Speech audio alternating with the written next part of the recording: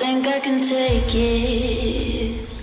With every drama, a piece of me dies like some kind of sadist.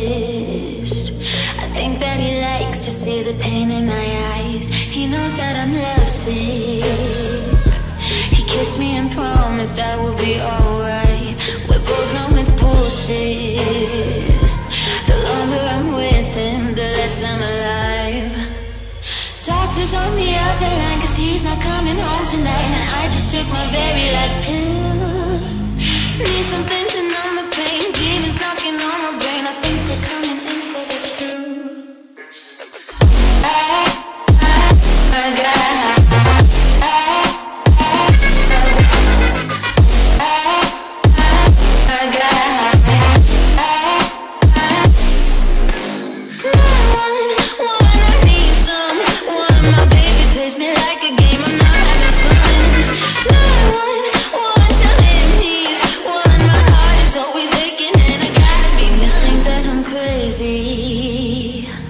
Well, he does too, so I guess that makes three. Need someone to save me.